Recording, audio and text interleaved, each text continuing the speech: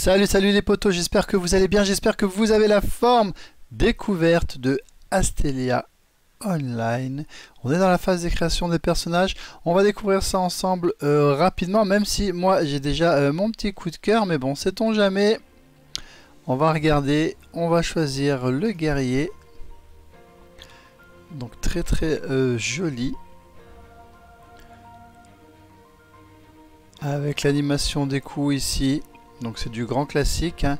Donc vous avez la possibilité de voir ce qu'il peut faire, ce qu'il peut devenir. Croiser. Donc un protecteur aux capacités défensives. Le croisé peut encaisser une quantité extraordinaire de dégâts. Ça va être le tank. Le berserker. Bon, je pense que c'est le gros bourrin du jeu. Et là, nous avons le gladiateur est connu pour sa ténacité, combat jusqu'à son dernier souffle, jouissant d'une précision d'exception et d'une bonne maîtrise des effets. Bon, bah c'est joli aussi. Hein là, on a un descriptif des euh, principaux sorts, je pense. Pourquoi pas? Moi, j'ai un coup de cœur pour l'archer. Mais alors, j'ai pas regardé ses déclinaisons, parce que je viens tout juste d'avoir le jeu. Donc, on découvre un peu ensemble. Donc l'archer est un attaquant à distance, très agile. Grâce à sa mobilité, il peut attaquer des ennemis à distance de sécurité et distancer des ennemis en approche grâce à un ensemble de compétences spécifiques. Alors, on a le quoi On a quoi? On a le chasseur de primes. Le chasseur de primes est un combattant passionné, doté d'une évasion et d'une précision élevée. Il n'abandonne jamais la poursuite de sa proie.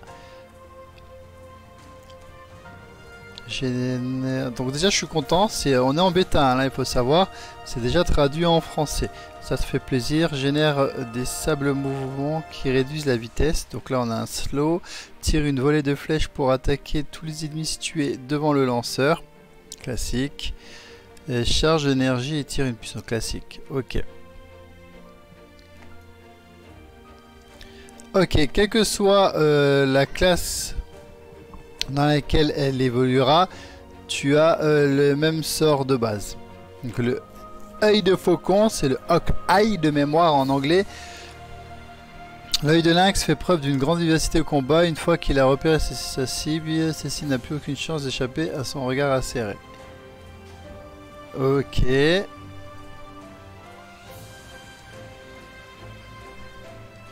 Je regarde les sorts en même temps dans, la petite euh, vidéo là. Est-ce qu'il y a une réelle différence On va voir.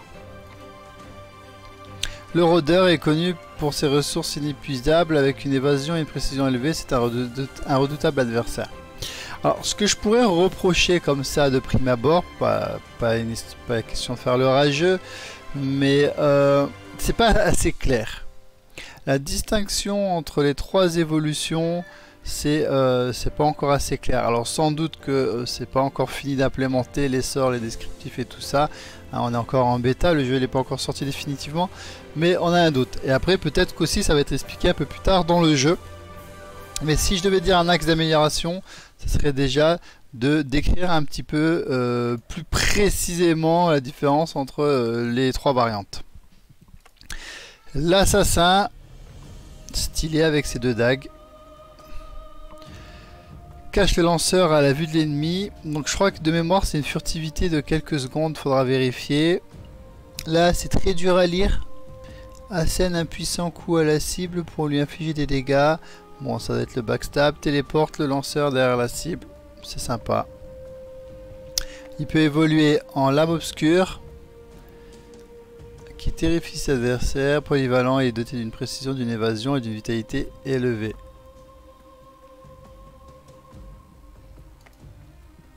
Fantôme, le mystérieux fantôme, il réduit ses ennemis à l'impuissance avec son évasion incroyablement élevée. Il euh, survit à toutes les situations. Le vengeur ne vit que dans un seul but, il est prêt à mourir pour l'atteindre. Il est doté d'une bonne précision et d'une attaque élevée, ce qui le rend particulièrement dangereux. Ok. L'érudit. Euh, il est un soigneur avec une grande puissance de sort qui utilise un bâton pour invoquer ses compétences. Il peut aider ses alliés en appliquant des bonus ou en retirant des malus. Il possède également des sorts de soins puissants pour soigner. Alors moi j'hésite toujours entre un DPS distant et le healer. Des fois j'aime bien faire des tanks aussi, mais vu que là on va, avoir une, variante PVP de masse, j'aime bien prendre des distances parce que ça te permet d'être tranquille. Le prêtre, un serviteur des dieux, aussi élégant que dévoué. Spécialisé dans l'attaque magique et la puissance de sort, le prêtre a une attaque et des compétences de soins équilibrées. L'enchanteur chaman, le chaman, un enchanteur qui pratique des sorts transmis de génération en génération. Le chaman pulvérise ses cibles avec son attaque magique et son attaque magique critique. Ouais, donc je pense qu'on est plus sur du, DPS magique là, du coup. Peut-être un peu moins de soins. L'oracle, l'oracle est spécialisé dans le soin et la défense avec une puissance de sort et une défense physique élevée. Ok, mais quelle est la différence avec le prêtre? Quand tu n'as pas joué au jeu, j'entends, c'est difficile. Euh, spécialisé dans l'attaque magique et la puissance de sort. Donc le prêtre a l'air déjà un peu plus offensif si on lit la description, puisque spécialisé dans l'attaque magique. Si tu euh, regardes l'oracle, c'est l'oracle est spécialisé dans le soin et la défense. Donc si je veux vraiment faire un healer, si je comprends bien, faut prendre un oracle. Mais tu vois, tout ça, c'est pas extrêmement clair quand tu ne connais pas le jeu. On est en bêta, je le répète. Ça va encore s'améliorer, je pense. Mais on peut clairement augmenter tout ça. Donc du coup, bah, je suis comme un con parce que j'hésite entre en faire un oracle orienté soin plus tard et euh, faire le gros bourrin d'archer. Euh, je sais pas. On va voir les sorts. Disciple les malus infligés à un allié. Réincarnation permet à un personnage de revenir à la vie lorsqu'il meurt. Ça c'est super sympa. Inflige des dégâts continue à toutes les cibles ennemies à porter pendant une durée limitée. Ouais, c'est chaud. Allez, le mage. On regarde la petite animation. Donc c'est les petites filles en culotte.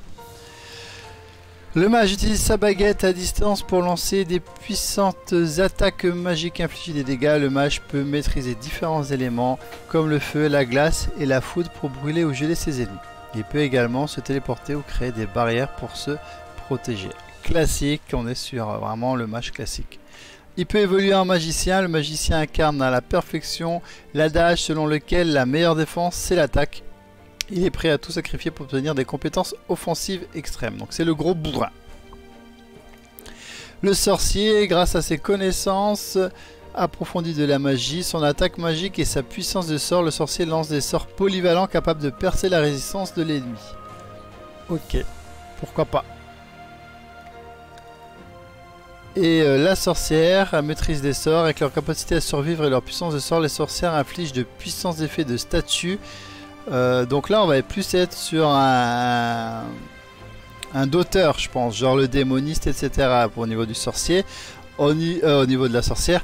Au niveau du sorcier, c'est pas très clair, je suis désolé, mais vous me direz en commentaire hein, si pour vous ça vous paraît très très clair, mais pas pour moi. Flèche de glace projette un éclat de glace qui réduit la vitesse de déplacement et inflige du gel. Donc là on a un slow.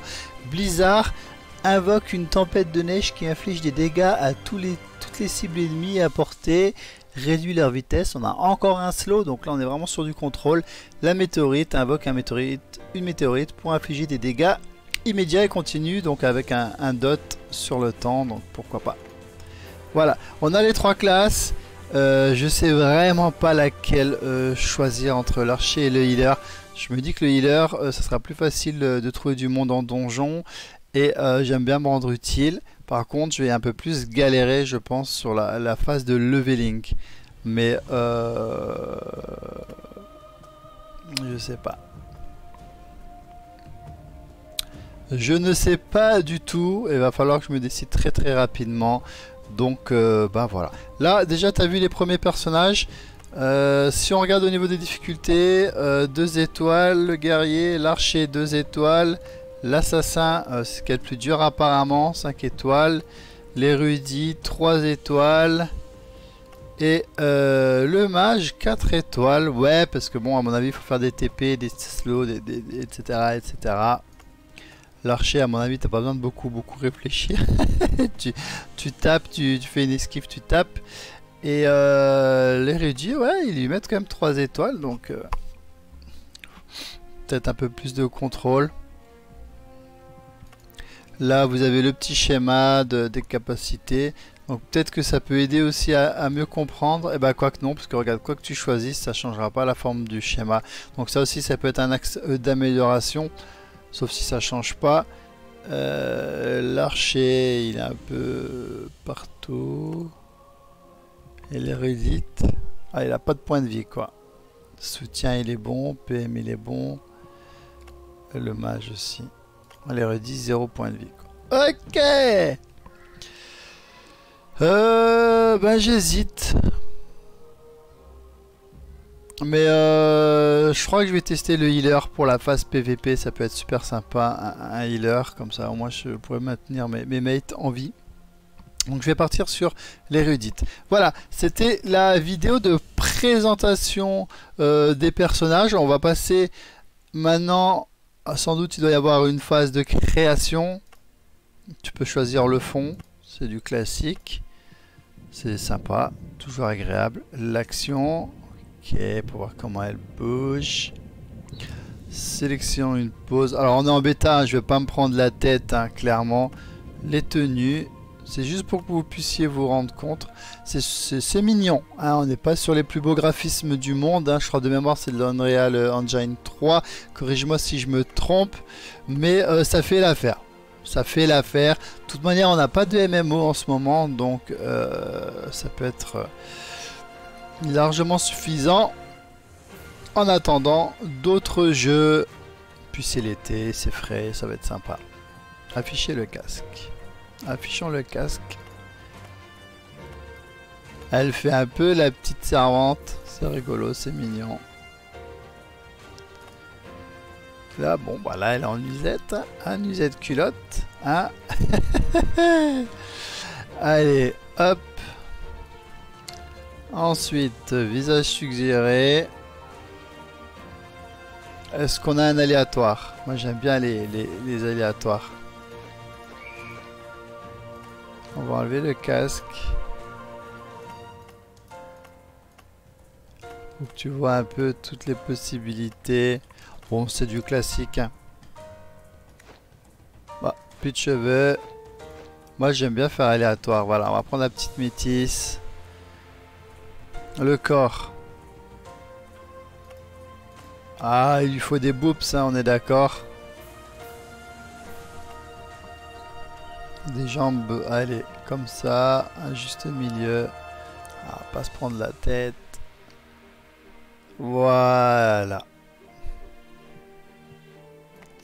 T'as des onglets en haut, tu peux régler bien sûr la peau, la forme du visage, sourcils, yeux, nez, bouche, oreilles, toutes les options, les couleurs, etc.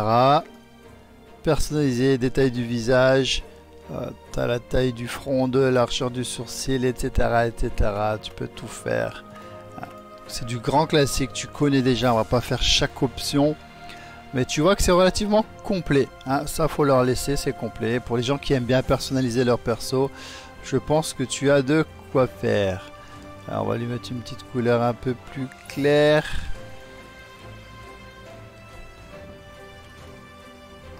Allez hop. Ça c'est quoi? Voilà, sélection du personnage. Overgood. TV et l'autre. Si j'en fais un deuxième, ça sera l'archer. Je l'appellerai Overgood tout court. Hop. Voilà, c'est fait. On va rentrer en jeu, ça là. C'était la, la phase de création des personnages, découverte un peu des classes des personnages. J'espère que ça t'a plu. Dis-moi en commentaire si tu veux d'autres séries sur euh, ce sujet, sur ce jeu du moins. Et euh, je te dis à bientôt. Ciao, ciao. Si cette vidéo t'a plu, n'hésite pas à laisser un commentaire, partage, abonne-toi, coche la petite cloche à côté pour ne pas louper les prochaines vidéos. Je te dis à bientôt. Ciao ciao